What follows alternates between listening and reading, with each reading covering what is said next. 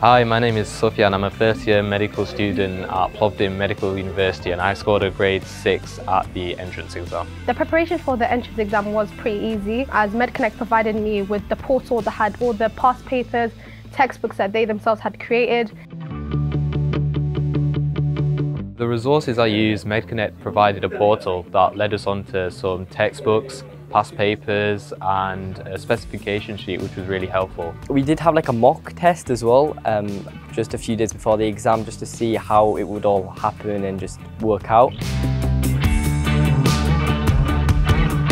My advice would be to start early. I think the earlier you start, the more prepared you'll feel. Starting early is good because you can see like what you know and what you don't know. I would say use the practice papers as much as you can and if you're a bit confused then use the textbooks as well because they're quite informative. Mainly focus on past papers, they're really important and questions do tend to repeat themselves even if they come up in different variations.